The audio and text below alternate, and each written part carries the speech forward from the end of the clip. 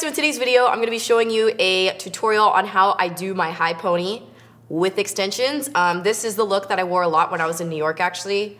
And by a lot, I mean twice. But if you don't wear extensions and you wanna see a pony tutorial, I filmed one last year that I will link down below so that way you guys can go watch that one too if you're interested. So today I actually do have clean hair. This I washed this morning. Normally when I do this hairstyle, my hair is not clean. It's actually extremely dirty, like a couple days old or it's already been curled for a couple days. Like I styled it two days ago and there's still a little wave in it. But my hair was really sweaty this morning from I actually worked out, so I decided to wash it. And I wanted to show you guys what it looks like doing it from scratch. And also I have my extensions here, and these are the Hair Shop 16 inch extensions. When I was in New York, my hair got dipped into a margarita. Kristen Dominique's margarita. Sorry about that, Kristen. So I washed them today, so you guys will see from start to finish what it looks like. But if your extensions are already curled and your hair has already got a little bit of curl in it, super easy to do and you just clip it in. You don't have to do any curling. But I wanna show you guys what it looks like to do it from scratch. Also, why I like to have uh, extensions in when I do a ponytail, because if I don't, Desi told me I look like a nine-year-old going to soccer practice when I don't have extensions in. And I wanna let you know that that was really rude. I have a curling iron. This is the NuMe 35 millimeter, ooh, is it 35 or 25? It's the largest one that they have. All you, you don't need a wand you could use a curling iron, whatever. So I have a curling wand, which is really hot. I just put it really close to my face. And then all you need is just some hairspray, really. So I just have, this is the Bumble and Bumble BB Spray de Mode. And then I use a teasing comb to smooth out my ponytail, but you can use whatever comb you desire. And the first thing I'm gonna do is just curl my actual hair the hair that I own. I'm just gonna curl it all in the same direction. If I leave my hair down, I spend more time curling it and making sure it's like the right way and it's all smoothed out. It doesn't really matter that much. I'm just trying to take like the straight limpness out of it so it doesn't look like such a noodle. But I just take pretty big chunks, like way bigger than um,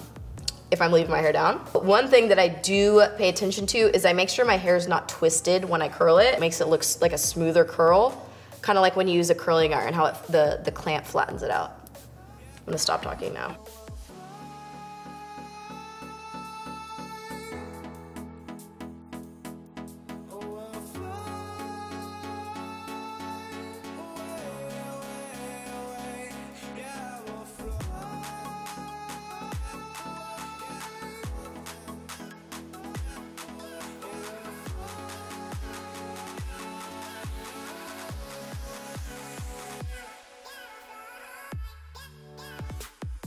All right, so I just finished curling my regular hair and now I'm gonna curl my faux hair. So I actually have this hooked onto a C-stand right now, like what I use to hold stuff when I film. Um, but a trick that Desi actually showed me for curling your extensions, that way they don't slide around or you don't have to put them in if you don't want to, is you uh, just put it in a drawer, like you close the clips in a drawer, like a dresser or whatever, um, and you can actually curl your extensions there. But obviously I want this up high so I can show you guys, that's why I have it on a C-stand.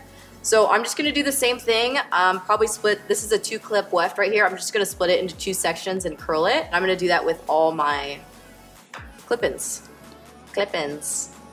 And I'm gonna do the same thing, so keep it nice and flat when I curl it.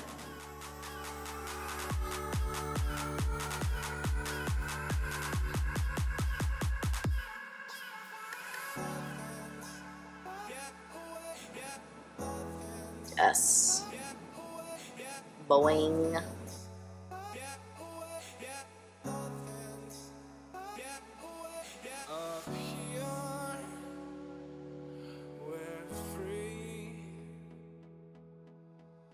Now we're actually just gonna start the ponytail. And the first thing I like to do, because we're using extensions, is make a tiny ponytail in the back of your head. Anyway, this is one of those, you can just buy them at the drugstore, a whole bag of them. I'm not gonna lie to you, I just found this on the floor. I'm feeling pretty good about it. Uh, and I found a bobby pin on the floor, which I'm also really excited about. You don't need a ton of hair. This is just gonna be like where you clip in your extensions. So, it's eating my corn. So just like this section of hair, let me show you the back really quick. Yes, give it to me. All right, so we're just gonna put that part in a ponytail. These are like Zoe-sized ponytails. So then what we do is we actually clip in the extensions to the tiny ponytail. So I'm gonna take the four clip one and what I like to do on the back one is actually lift up another section of hair and clip it to that so that way not all the weight is on the actual tiny ponytail.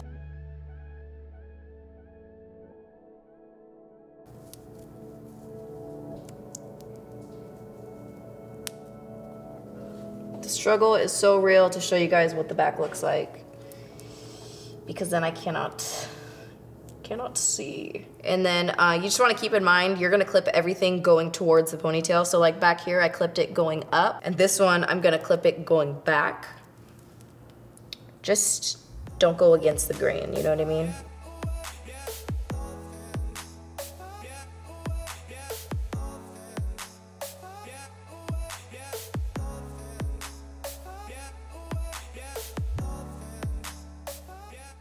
I got another two clipper right here that I just curled really quickly. And I'm gonna see if I can just stick it in here. Perfect. All right, so now we are actually ready to snatch. Um, so this is where you're gonna need, well for me personally, I like to use a fatter ponytail like these ones right here. This is from like Goody or something. Eh. So like so, so you can see the general direction.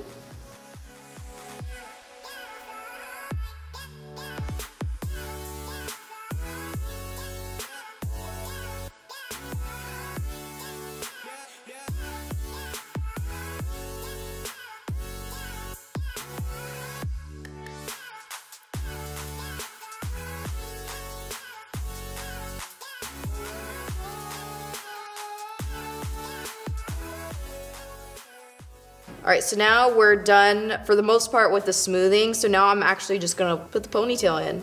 So I have my ponytail here. I like to come in from the north up here and do it.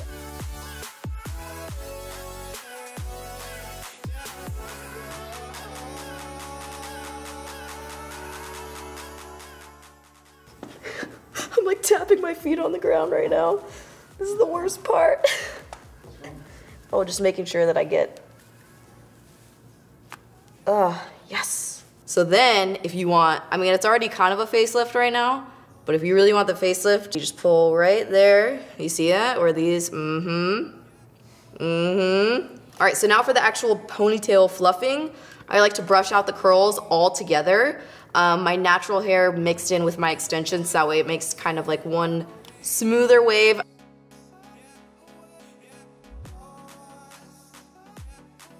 And now what I wanna do is just cover up the hair tie.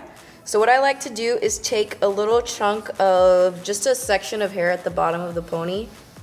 So like right here. I don't know if this is, this feels like my real hair. I'm like, I don't even know what it is. And then just wrap it around the hair tie.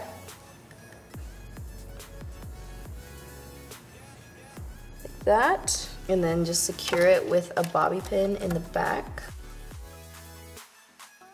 If you want even more of like a zhuzh, you can lift up this section of hair and then I'm gonna take this, the hair right under it and give it a little tease.